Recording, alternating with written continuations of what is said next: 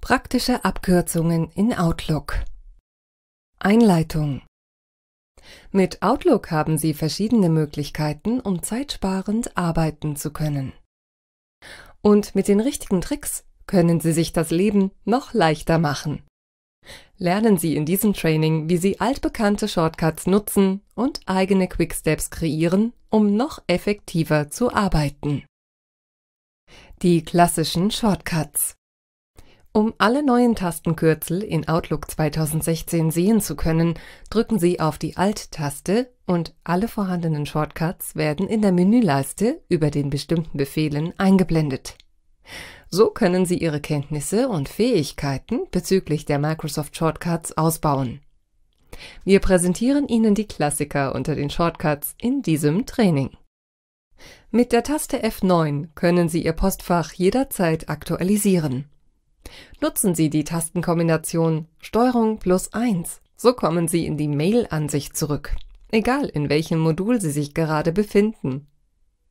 STRG plus 2 bringt Sie sofort in die Kalenderansicht und STRG plus 3 bringt Sie zu Ihren Kontakten. Wenn Sie eine E-Mail oder einen Termin suchen möchten, so drücken Sie F3 und Sie gelangen sofort ins Suchfeld. Um einen Kontakt in Ihrem Adressbuch zu finden, drücken Sie F11. Auch das Versenden von E-Mails ist im Handumdrehen getan.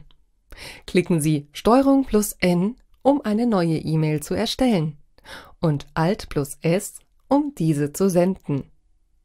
Mit der Kombination STRG plus R antworten Sie auf eine E-Mail. Falls Sie allen Absendern antworten möchten, klicken Sie auf STRG plus Umschalt plus R.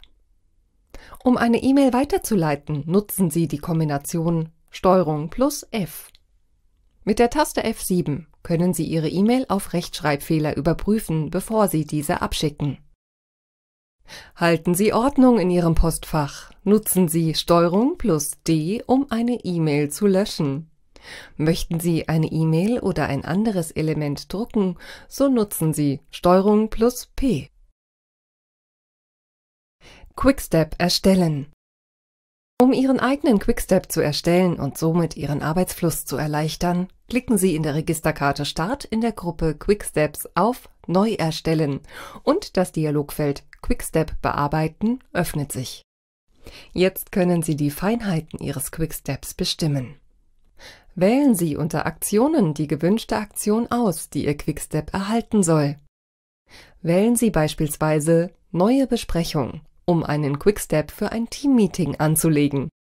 Fügen Sie die Adressen der Teammitglieder ein, die zukünftig benachrichtigt werden sollen. Wenn Sie möchten, können Sie bei Tastenkombination Ihrem Quickstep einen Shortcut zuordnen, um das Erstellen eines Teammeetings noch schneller zu gestalten.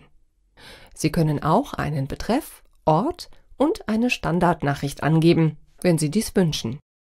Zu guter Letzt klicken Sie oben links auf die Schaltfläche, um ein passendes Miniaturbild auszusuchen und geben Sie dem Quickstep einen eindeutigen Namen. Mit einem Klick auf Fertigstellen beenden Sie den Vorgang. Nun können Sie mit nur einem Klick ein Teammeeting erstellen. So können Sie auch beliebige andere Quicksteps erstellen.